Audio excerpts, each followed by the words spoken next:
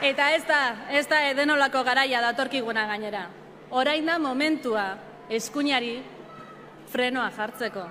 Planetak horrela behar duelako. Jendarteak horrela behar du. Azken finean, hau eredu kontua da. Eta gure eredua, espekulazioa eta privatizazioaren aldean, nervioi bai garbi eta naturalizatu bat izatea da. Zeinetan bere inguruetan, gazte eta nagusiok, komunitatean, bizitzeko eredu berriak asmatuko ditugun. Zeinetan industria, gure herriaren mapa ordenatu batetan, errotuak eta eroso sentituko diren. Zeinetan baserri biziek gure baso eta mendiak zaintzen dituzten. Como decía, todo es cuestión de elegir el modelo. El nuestro, frente a la especulación y la privatización.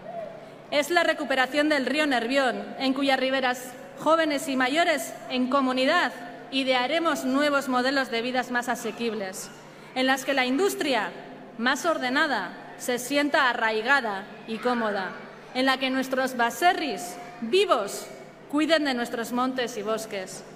Este 28 de mayo, la pregunta no es si rape o chuleta.